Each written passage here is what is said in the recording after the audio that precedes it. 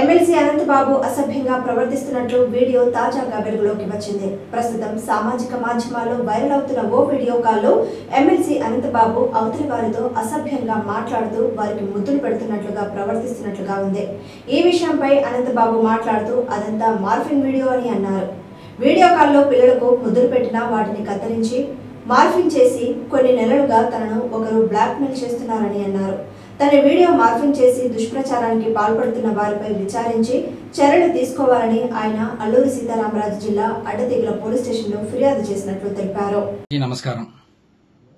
ఈరోజు ఉదయం నుంచి కూడా ఒక ఫేక్ వీడియో పెట్టి ఒక రెండు తోక టీవీల్లో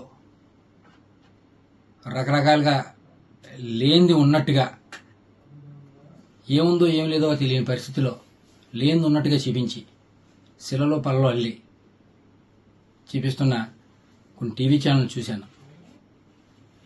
ఆ టీవీ ఛానల్ పరిస్థితి చూసి దాని గురించి మీ అందరికీ చెప్దాని ఉద్దేశంతో ఈరోజు మీ ముందుకు ఎలా వచ్చా?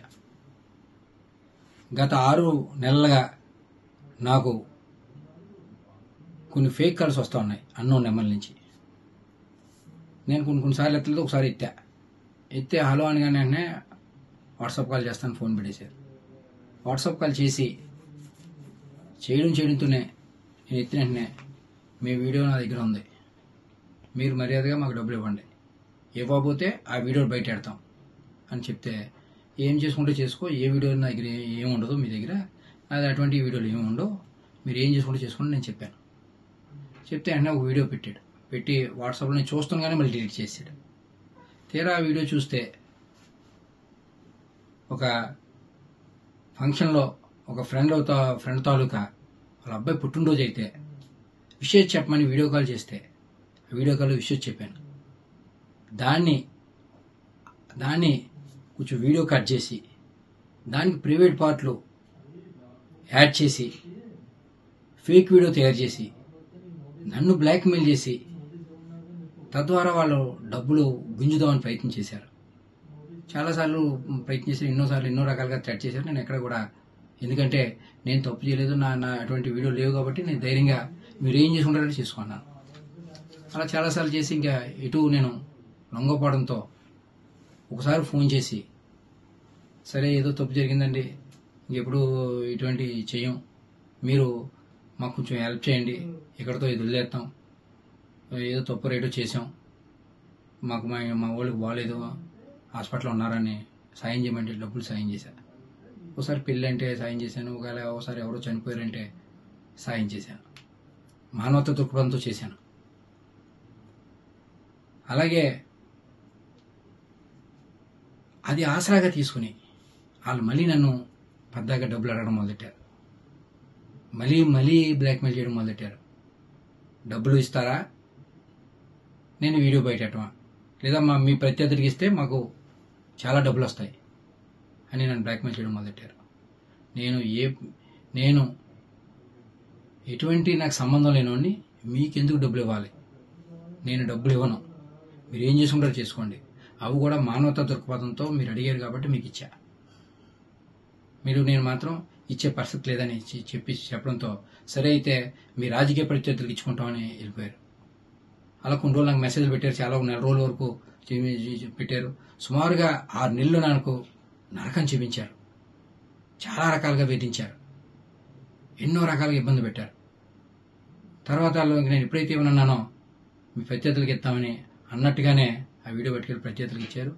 మా రాజకీయ ప్రత్యర్థులకి. ఆ ప్రత్యర్థులందరూ కూడా సోషల్ మీడియాలో రకరకాలుగా ఆ ఫేక్ వీడియోని ఏదైతే